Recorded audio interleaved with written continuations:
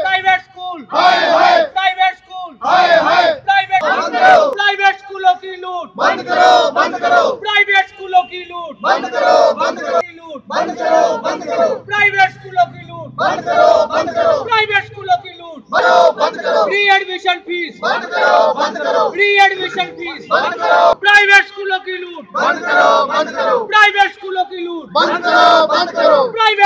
की लूट। बंद करो बंद करो। प्राइवेट गुजारी बंद करो बंद करो। प्राइवेट स्कूलों का व्यापारी बंद बंद करो बंद करो। प्राइवेट स्कूलों की लूट। बंद करो बंद करो। प्राइवेट स्कूलों की चोर गुजारी प्राइवेट स्कूल हाय हाय। प्राइवेट स्कूल हाय हाय। प्राइवेट स्कूल हाय। क्या डिमांड क्या है?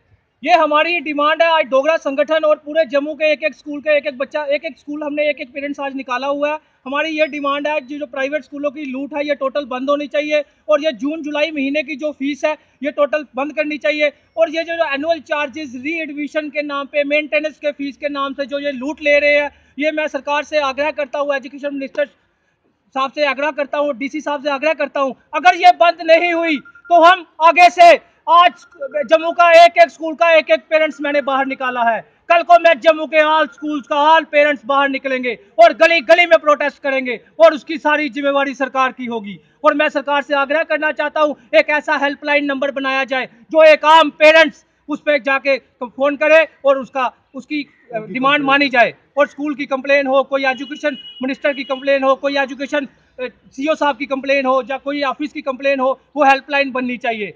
और हमारे एजुकेशन मिनिस्टर साहब से मैं उम्मीद करता हूँ कि वो आज का हमारा पीसफुल प्रोटेस्ट देख के वो ये ऑर्डर निकालेंगे और मुझे उम्मीद है कि वो हमारी मांगों पे खड़े उतरेंगे। ये सूत्रों के हवाले से हमें पता लगा है स्टे लिया है स्कूल वालों ने।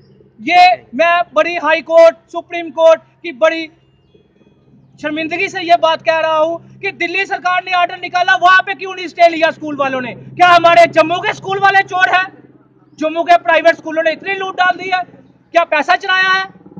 स्टे ले लिया। स्टे का मतलब क्या जब सुप्रीम कोर्ट हाई कोर्ट ने ऑर्डर निकाल दिया कि जून जुलाई महीने की फ़ीस बंद हो और ये री एडमिशन बंद हो एनुअल चार्जेस बंद हो और ऐसा कोई भी कानून नहीं बनना चाहिए जो एक ऑर्डर निकले और उस पर कोई भी जाके और मन मर्ज़ी से स्टे ले ले।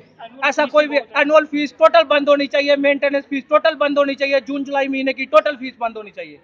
प्राइवेट